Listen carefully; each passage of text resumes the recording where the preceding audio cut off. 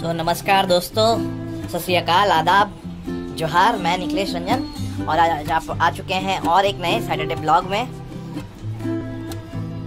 तो स्वागत है आप सभी दोस्तों का आज एक मेरे नए वीडियो में। सो so, आज की हमारी वीडियो है रेडियो स्लाइडर के बारे में और सर्दी में वो कैसे दिन गुजारते हैं उसके बारे में। तो देखिए ये मेरे दो कछुए हैं दोनों पैर हैं मेल फीमेल और ये अभी धूप सेक रहे हैं। इनको धूप की बहुत ज़्यादा आवश्यकता है। और खास करके सर्दी में। सर्दी में अगर आप इन्हें खाना ना भी खिलाएँ तो भी कोई फ़र्क नहीं पड़ता, लेकिन धूप अवश्य दिलाएँ। तो आप देख सकते हैं, ये बड़े ही मज़े के साथ में धूप की सिकाई कर रहे हैं। ये इनका टब है और ये पूरी जगह इनका आशियाना।